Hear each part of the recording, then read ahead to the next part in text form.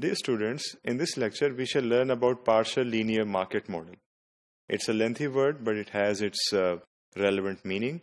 Uh, it's set as partial because in this model we are dealing with one commodity at one time and it is linear because we are assuming the uh, possibility of linear relationships only and it is market model because we are dealing with a market.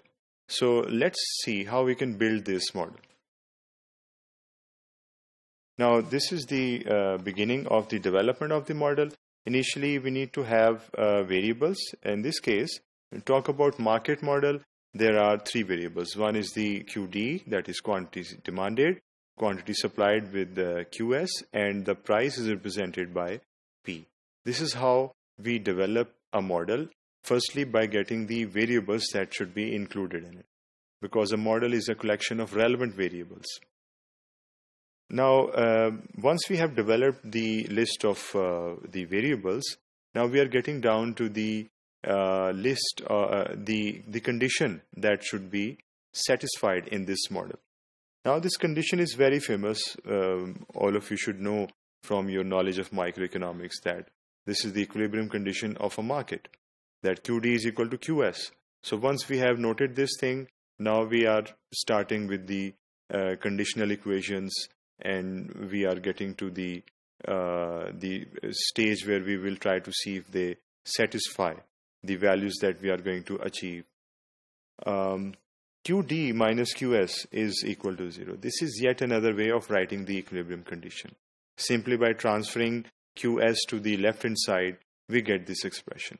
And if it is equal to 0, it definitely means that QD and QS, they are equal to 0. In other words, what we are trying to say is that excess demand is not there. There is no excess demand.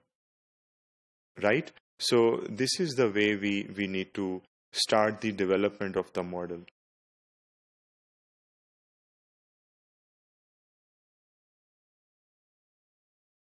Now we are getting into the behavioral equations. The behavioral equations of QD and QS. So you see how we are using the uh, types of equations that uh, that are there. That is the uh, conditional equations and behavioral equations and so on. So these tools from mathematics they help us to develop a model and then to analyze it. Um, QD is having this form and QS is having this form.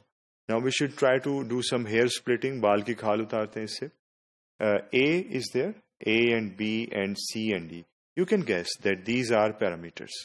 And there has to be some parametric restrictions on them. And as we can see, all of these, they are positive. We are keeping them positive so that we could observe their, uh, their interpretation in terms of their slope and their in intercept. Uh, by keeping them positive, now we are able to uh, see the sign which is associated with them and that will allow us to interpret the slope and the intercept. As you can see, we have mentioned here that A is the intercept of QD and B is the slope of QD. This is the intercept and this is the slope. And the negative sign here is basically telling us that the slope is negative. So this sign now is more easy to interpret once we uh, dispel the possibility of having A, B, C, D in some other sign that is a negative sign. It itself is a positive sign uh, uh, and, and it's a positive value. So the sign with it is going to allow us to interpret it.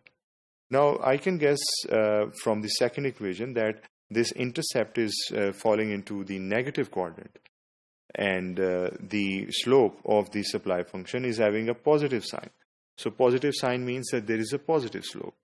As you can see, C is the intercept and d is the slope of qs that is the supply curve and that is a positive slope. We should look at th uh, this situation in in terms of a graph. Now let's see how a graph will help us to explain the development of this model. On the left hand side you can see the graph and the explanation is there. Qs is the horizontal intercept at p1 QS, this is the QS as you can see. It is having this intercept and this is the horizontal intercept and the point is P1. Now, this is a very important point because it has economic interpretation. It is called as reservation price. And this is the uh, minimum price at which the seller is interested to sell the commodities. Below this price, the seller is not interested because perhaps he thinks that it is wasteful or not cost effective to sell the product. So you can see before this level of price, that is P1, in all of this region, no supply occurs. And after this, the supply has started. After understanding this, we should know that um, this is something contrary to what we usually see.